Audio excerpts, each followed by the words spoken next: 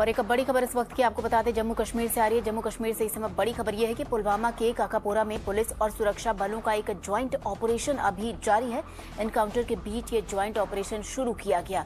और चलिए इस पर और ज़्यादा जानकारी देने के लिए हमारे सहयोगी ईशान ने इस वक्त हमारे साथ फ़ोन लाइन पर मौजूद है। जी, ईशान, और क्या जानकारी है? देखिए, रात को ही सिक्योरिटी फोर्सेस को सूचना मिली थी, जिसके आधार पर एक ऑपरेशन लॉन्च किया गया पुलवामा के इलाके में।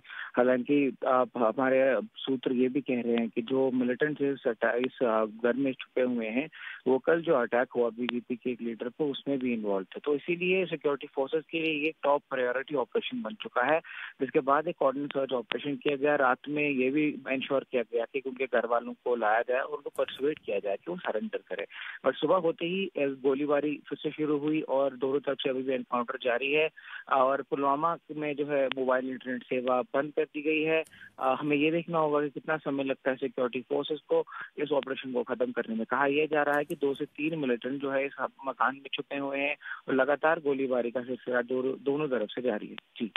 जी, ईशान, आपका बहुत बहुत शुक्रिया।